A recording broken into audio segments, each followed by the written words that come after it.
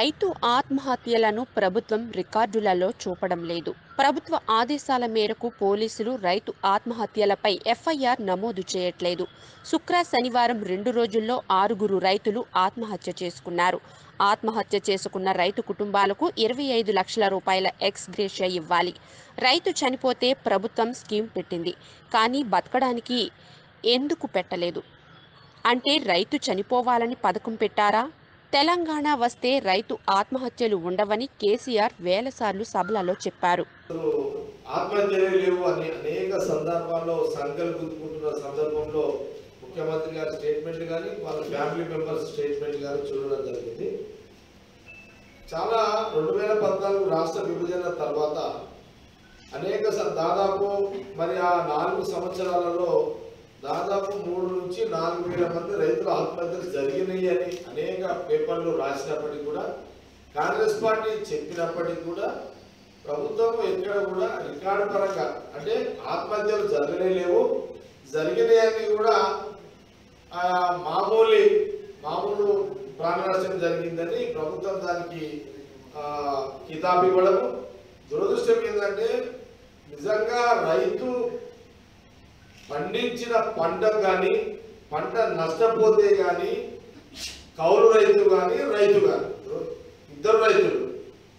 మరి ఎక్కడ కూడా వీళ్ళ వీళ్ళు పరిస్థితులు బాగలేక అప్పులలో ప్రెషర్స్ ఎక్కువయ్యి ఆత్మహత్య చేసుకున్న గత చరిత్ర తెలంగాణ రాష్ట్ర విభజన తర్వాత జరిగిన అనేక ఆత్మహత్యలలో పోలీసులు ఎక్కడ కూడా కేసులు బుక్ చేయలేదండి.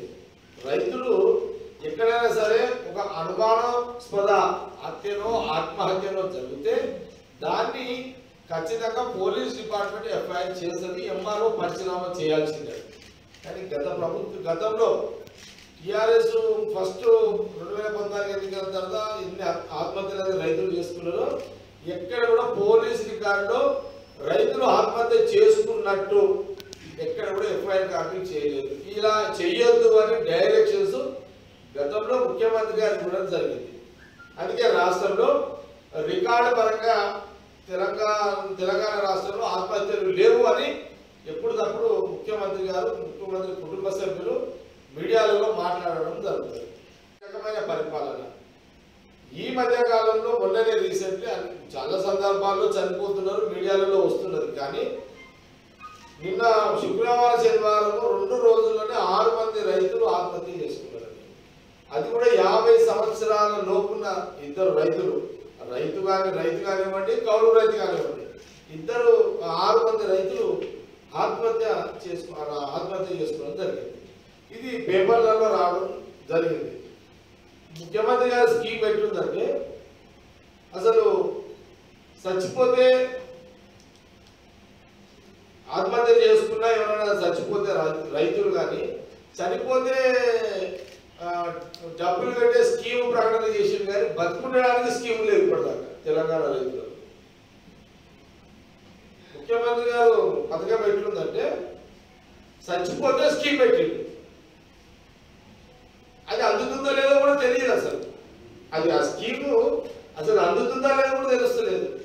కానీ నేను కాంగ్రెస్ పార్టీ ఏమడుగుతున్నది గాంధీ భవన్ నుంచి అంటే ముఖ్యమంత్రి గారు మీరు చనిపోతే బీమా పథకం పెట్టింది బతుకుండడానికి రైతులకు పథకాలు లేవా? అంటే దాని ఉద్దేశం ఏంది?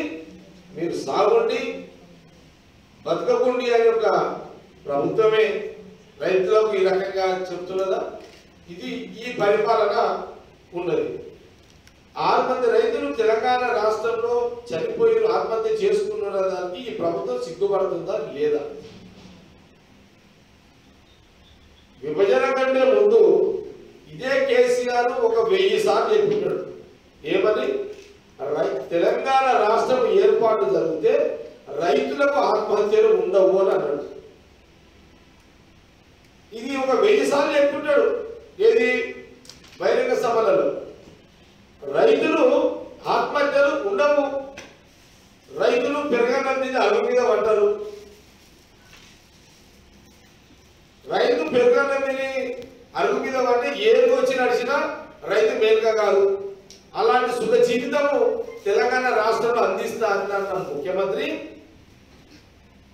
ఈ రోజు ఆత్మహత్య చేసుకుంటారు రైతులకు సిగ్గు అనిపిస్తలేదా?